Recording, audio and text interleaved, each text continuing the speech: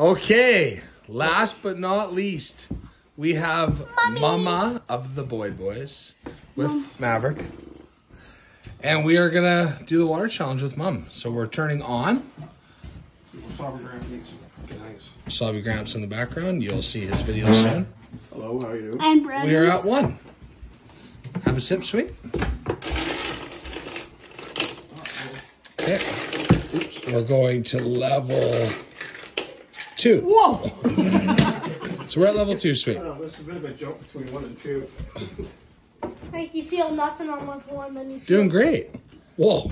That was a very stern. Why is it pulsating? Everyone else got steady. And it's Steady such a after. It's like, got- I got the pulsing too. Is that better? Or try it. How's that one? Better? Whoa, no. It's not I'm pulsating though. it. Okay, here we go. We're going to three. You ready? Let me put it down first. Okay.